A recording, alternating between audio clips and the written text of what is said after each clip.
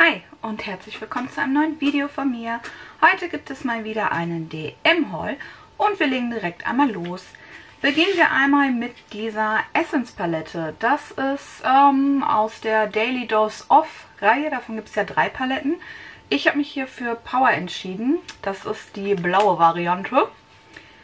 Äh, ohne Spiegel finde ich aber ganz gut. Und das sind einmal die neuen Farben. Ich würde sagen, wir swatchen einmal den äh, mittleren Blauton auf jeden Fall und dieses Silber. Sind auf jeden Fall sehr weich. Kommt definitiv gut was runter. Und die können sich auf jeden Fall sehen lassen. Aber gerade den Silberton finde ich wirklich verdammt schön. Ne, kann man hier wieder mit dem Gummiband zumachen. Dann geht die auch nicht auf. Dann haben wir einmal von Balea die straffende Hydrogel Gesichtsmaske in der blauen Variante. Die ist mit Diamantpuder und Hyaluron. Ähm, ich stehe ja total auf diese Hydrogel-Masken tatsächlich. Äh, normalerweise habe ich immer normale Tuchmasken benutzt. Aber ich finde die sehr, sehr kühlend, sehr angenehm nochmal auf der Haut. Also nochmal so einen Ticken besser als normale Tuchmasken eben. Dann äh, durfte mein Augen-Make-up-Entferner wieder mit. Kaufe ich ja auch immer regelmäßig nach. Vor allem, da ich den immer im Backup da haben muss. Ich habe so oft selbst nicht wasserfeste Wimperntusche oder nicht wasserfesten Eyeliner. Aber äh, trotzdem, ich benutze den einfach immer wieder. Es ist so mein Holy Grail beim Abschminken. Der kostet echt nicht viel. Den gibt es auch fast immer. Also der ist selten ausverkauft oder so. Ich komme damit sehr gut zurecht. Brennt mir nicht in den Augen. Hat jetzt auch nicht einen mega öligen Film, den er irgendwie auf den Augenlidern hinterlässt oder dass man so ein bisschen verschleiert sieht. Also ich finde den echt ganz gut. Dann von Palmolive habe ich einmal eine Dusche mitgenommen. Das ist aus der Aroma Sensations Reihe. Das Absolut Relax Duschgel. Schnuppern wir auch mal dran. Sehr schwer.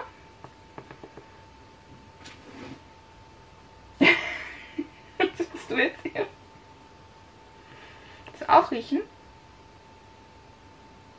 Nee, Mia mag es nicht. Aber ich. Finde ich sehr gut. Gerade abends zum Duschen gehen. Bestimmt sehr entspannend. Dann haben wir von Essence einmal das Hello Good Stuff ähm, 3 in 1 Face Mist. Ist zum Feuchtigkeitsspenden, Fixieren und zum Auffrischen. Äh, ja, mit Wassermelonenextrakt. Ich drehe es jetzt mal auf. Oh. Es ist ein sehr, sehr verfälschter Wassermelone-Duft auf jeden Fall. Das ist schon sehr süß, aber es ist tatsächlich ein Duft, der, ich traue mir gar nicht jetzt zu sagen, aber mir tatsächlich zu süß ist. Das, das ist auch was Neues hier. Ich weiß nicht, der riecht irgendwie wie, wie schon gekautes Melonenkaugummi. Also nicht der geilste Wassermelonenduft. Ich, ich finde noch okay, aber ich finde schon sehr, sehr krass süß. Also, dass ich das auf diesem Kanal mal sagen werde, ist unglaublich. Dann habe ich noch einmal die Zahnbürstenköpfe für meine Sonic Pro Clean Zahnbürste mitgenommen. Hier sind zwei Stück drin. Ähm, und die sind auch unten unterschiedlich farbig gekennzeichnet nochmal. Ne, wenn man da irgendwie die... Äh, Soll es ja geben, dass ein Paar dieselbe Zahnbürste benutzt und halt immer wieder die Köpfe dann irgendwie wechselt, ähm, habe ich tatsächlich mal drüber nachgedacht. Aber finde ich trotzdem nicht gut. Ich brauche meine eigene Zahnbürste. Ich weiß nicht, wie steht ihr dazu? Na, also klar, es macht natürlich Sinn, wenn man ein Handstück hat. Und äh, ich glaube, meine Zahnbürste hat eh zwei Aufsätze hinten, dass man zwei verschiedene Bürsten dann auch immer ne, hinstellen könnte. Aber ich bin da kein Fan von. Ich brauche meine eigene einfach. Also wirklich ganz meine eigene. Hier ist es übrigens so, dass die in der Mitte diese ähm, hellblauen Borsten hat. Ich denke mal, das kann man gut sehen. Und wenn die Zahnbürste sich abnutzt, dann verblasst das Blau hiervon. Mittlerweile mache ich das so bei den elektrischen Zahnbürsten, dass ich den Bürstenkopf immer äh, tatsächlich alle drei Monate austausche, wie man es ja auch ne, vom Zahnarzt empfohlen machen sollte. Ähm, bei den normalen Handzahnbürsten habe ich die tatsächlich immer nach einem Monat entsorgt, weil ich die einfach, äh, ich drücke so feste, ich putze so doll und alles mögliche. Und äh, die sieht sehr schnell sehr scheiße aus. Und dann habe ich sie halt immer entsorgt. Äh, mittlerweile mache ich so, dass ich die immer quartalsweise dann wechsle. Ne? Also am 1.1., am 1.4., am 1.7. und am 1.10. Ne? Also so wie halt auch ganz normal quartalsmäßige ähm, Geschichten kennt ihr wahrscheinlich alles vom Hausarzt und so, ne? Dass man alle drei Monate ja seine Karte vorzeigen muss und so. Genauso mache ich das quasi mit meinen Zahnbürstenköpfen. So, dann habe ich mir zwei neue Nagellacke gekauft. Wieder aus der Essence Shine Last Go Reihe. Einmal diesen petrolfarbenen, das ist die 69 Never Say Never. Hier ist übrigens der Hinweis mit bei, dass man einen Basecoat benutzen soll. Seht ihr wahrscheinlich nicht, weil es so eine spiegelnde Schrift ist. Und äh, einmal so ein Glitzertopper. Ich fand den echt interessant. Das ist 68, ist Stars Born. Sprich, äh, Titel vom Lady Gaga Film, den ich bis jetzt immer noch nicht geguckt habe. Sieht auf jeden Fall so aus. Ich finde ihn sehr, sehr schön. Er hat so holographische Flakes drin. Ich bin da ein großer Fan von. Darum mal schauen, wie der so ist. Dann durfte von Essence die neue Foundation einmal mit. Die gibt es ja in zig Farben. Ich habe mich jetzt für die 030 Neutral Ivory entschieden, weil ich tatsächlich die Erfahrung gemacht habe, ähm, schon mit diesem Insta Perfect Make-up, dass mir die 010 tatsächlich zu hell ist. Ah, ich muss die ganze Zeit die Katze umsetzen hier. ähm, na, und ich meistens mit der 020 oder 030 äh, dann tatsächlich besser zurechtkomme. Ich kann euch nicht mehr sagen, warum ich die 030 bestellt habe. Ich habe ne, online eingekauft. Ich war also nicht im Laden und äh, konnte mir da irgendwie zumindest die Tester mal anschauen, auch wenn ich sie nicht benutze. Ähm, ich glaube, ich bin echt nach den Untertönen gegangen oder nach dem ähm, Bild auf der Website dann. Schauen wir mal. Sieht auf jeden Fall so aus. Ich finde, die sieht verhältnismäßig irgendwie klein aus. Also irgendwie wirkt die Tube sehr klein. Vielleicht habe ich auch noch ein paar Hallos. So, die ist auf jeden Fall versiegelt. Aber ich möchte jetzt trotzdem mal schauen, wie der Ton so in etwa ist. Na, schaut auf jeden Fall so aus. Wir gucken jetzt einfach mal. Ich glaube, der passt ganz gut. Was sagt ihr? Ist komplett einmal hier. Ich glaube, der wird sehr gut passen. Also so ein bisschen Deckkraft ist auf jeden Fall da. Ich würde aber nicht sagen, dass es eine Full Coverage Foundation ist. Ist auf jeden Fall ganz gut. Die fühlt sich auch ziemlich leicht an. Also ich habe jetzt nicht irgendwie ein bappiges Gefühl so auf der Hand, ne, wenn ich die jetzt bewege. Gefällt mir bis jetzt ganz gut so vom ersten Eindruck. Ist natürlich immer noch mal was anderes, die später im Gesicht zu haben. Ne, wie die Haltbarkeit und so ist, kann ich eben noch nicht zu sagen. Aber vom Farbton, glaube ich, habe ich da eine ganz gute Wahl mit der 030 getroffen. Es sei denn, die oxidiert jetzt natürlich stark nach. Ich hoffe es aber nicht. Dann durfte ein neuer Concealer mit und zwar von Catrice aus der True Skin Reihe. Ich meine, da habe ich tatsächlich äh, auch nicht den ganz hellsten genommen, sondern die 002 Neutral Ivory.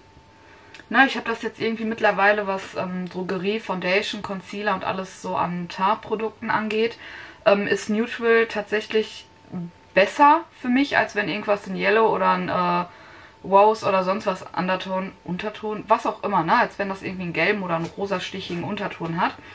Äh, neutral finde ich da echt immer ganz gut und Ivory ist halt meine Farbnuance.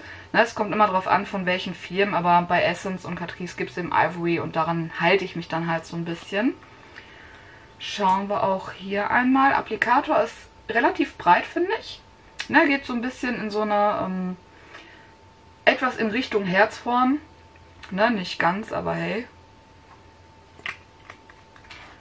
Ist auch auf jeden Fall ein Tacken heller als mein Hautton, auch wenn das dann immer so frisch aufgetragen nicht so aussieht. Aber trotzdem nicht zu hell, als dass ich da keine Unreinheiten mit abdecken könnte. Ich kann mal hier über meinen Katzenkratzer gehen. Na, also der ist auf jeden Fall gut abgemildert. Macht bis jetzt auch einen ganz guten Eindruck. Ich habe Kosmetiktücher gerade nicht hier stehen, ähm, darum schmier ich mir jetzt die Hand weiter voll. Dann von Evelyn einmal Wattestäbchen nachgekauft. Ich habe ja immer so einen Acrylbehälter dafür, ne? da tue ich die rein. Von Don Dent habe ich einmal die Pink Grapefruit Zahnpasta mitgenommen. Die habe ich im Laden gekauft. Das war ein Aufsteller, der da irgendwo rumstand. Äh, ist jetzt nichts Besonderes. Also ist jetzt nicht so eine ähm, Pflegezahncreme wie Amex Gelee oder sonstiges oder eine Polierzahnpasta oder so. Ist eine ganz normale Zahnpasta mit Pink Grapefruit Geschmack. Ich hoffe, der ist ganz angenehm. Von Sauber habe ich auch was Neues gefunden, nämlich ein Knisterschaumbad. Das ist hier in der Seite Knisterzeugs drin und hier ein flüssiges ne, Badezusatz-Sachet. Ähm, Duftrichtung sehe ich jetzt hier gerade nicht. Färbt auf jeden Fall das Wasser blau. Aber auf jeden Fall habe ich hier nichts zum Duft. Bin ich auch sehr gespannt drauf. Ich mag Kinderbadezusätze sehr gerne. Ich habe gerne ein bisschen Farbe und äh, Baby-Feeling in Wanne. ich finde es einfach gut. Also ich bade total gerne mit Babykrams. Äh, Gerade diese Baby Love äh, Gute Nacht Bäder oder so, ich finde, die sind echt gut für meine trockene Haut. Und was für Babys gut ist, kann für Erwachsene ja nicht schädlich sein. Denke ich mir jedenfalls. Dann durften auch neue Scrunchies mit. Auch von Ebelin wieder. Da ist einmal so ein ähm, lila, blau gemischtes und einmal so ein rosanes, was so ein bisschen, seht ihr das? Diesen durchsichtigen Chiffonstoff so ein bisschen hat. Finde ich ganz süß, finde ich ganz cool. Jetzt nicht unbedingt zu den blauen Haaren, aber vielleicht, wenn ich irgendwann mal wieder äh, ein bisschen blonder werde oder allgemein äh, grau oder was auch immer. Mal schauen, ne, was ich so mit meinen Haaren anstelle. Ich bin da ja recht experimentierfreudig bei. Dann passt das auch von der Farbe her. Und selbst wenn nicht, meine kleine Schwester klaut mir dauernd Haargummis. Hat sie zwei neue zum Abziehen. Dann von Balea die Tuchmaske Chocolate Dream. Die sieht einfach super cute aus, ist eine Limited Editions. Wird dann hoffentlich auch nach Schokolade riechen. Fände ich auf jeden Fall ganz geil. Äh, mich hat es einfach voll angemacht. Wir waren mal in so einem, ich weiß nicht, ob ihr dieses ähm, Restaurant Factory kennt. Ich meine, das ist in, in Bottrop oder so. Ich bin mir gar nicht mehr so sicher gerade. Da habe ich das erste Mal so ein Milchshake, äh, ich glaube mit Kinderbueno oder sowas gegessen. Und es sah quasi so aus und darum musste ich das mitnehmen. Ich will übrigens, dass Corona jetzt vorbeigeht. Ich will endlich wieder essen gehen. Wie ein Mensch. Normal. Die Gastronomen unterstützen. Nein, eigentlich will ich nur essen, sind wir mal ehrlich. Aber hey, ähm, ich freue mich da schon mega drauf. Das wird für mich das Highlight 2021, wenn ich wieder in irgendeinem Restaurant essen gehen kann. Dann von Larif einmal das äh, EDP in Give Me Love. Ich habe tatsächlich wieder nicht nachgeguckt. Ich mache es jetzt. Ja, ich habe jetzt, glaube ich, eine halbe Stunde lang gesucht. Ich finde dazu leider nichts. Absolut null. Ne, es gibt ja diese Larif ähm, Dupes-Listen, ne, wo es ja zu ähm, La Vie Belle, Giorgio Armani äh, Kram und sowas. Aber dazu habe ich jetzt echt nichts gefunden. Ich habe jetzt schon echt lange gesucht.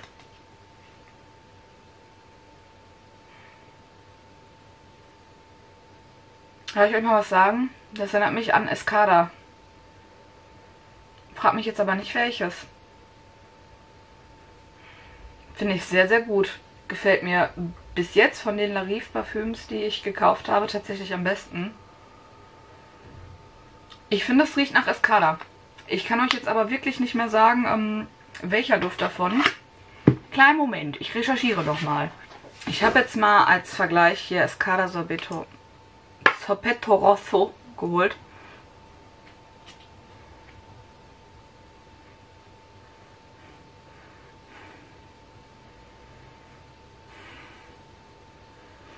Nee, nicht gleich.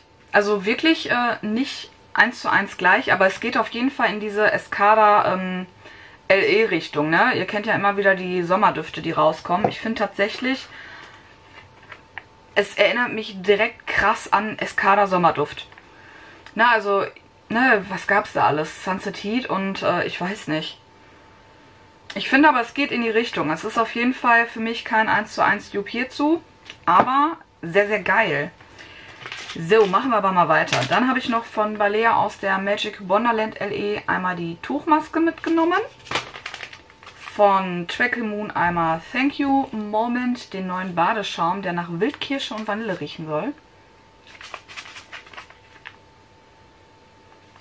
Also das bisschen, was ich hier durch dieses äh, Duftstromloch rieche, riecht echt sehr angenehm, sehr, sehr lecker.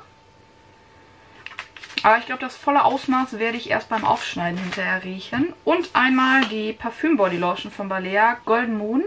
Ich meine, Golden Moon ist so eine Alien Dupe Geschichte. Ups, ja, ein bisschen sehr viel.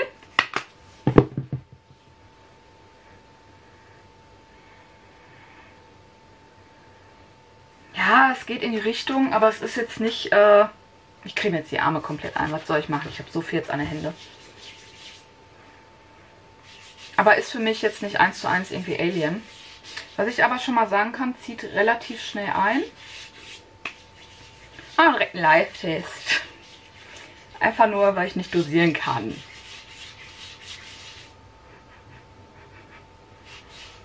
Ist auf jeden Fall angenehm. Gefällt mir auf jeden Fall. Also ich würde tatsächlich, wenn das länger auf der Haut bleibt, dazu auch gar kein Parfüm mehr auflegen. Weil ich finde, das ist schon ein sehr guter Duft. Der jetzt auch nicht zu stark ist oder zu leicht. Man nimmt den auf jeden Fall wahr. Mal schauen, wenn er länger auf der Haut bleibt, würde ich tatsächlich sagen, dass das Parfüm weg. Ne, bei einer Parfüm Body Lotion. Ne, nicht jede riecht jetzt äh, 3, 4, 5, 6, 7, 8, 9, 10.000 Stunden. Aber das auf jeden Fall ganz lecker. Ist auch limitiert. So, ihr Lieben, das war's heute wieder von mir. Ich würde mich natürlich sehr über einen Daumen nach oben freuen, über neue Abonnenten, Kommentare. Ja, ich bin auf jeden Fall für heute raus. Ich danke euch sehr fürs Zusehen und hoffe, wir sehen uns auch beim nächsten Mal wieder. Ciao!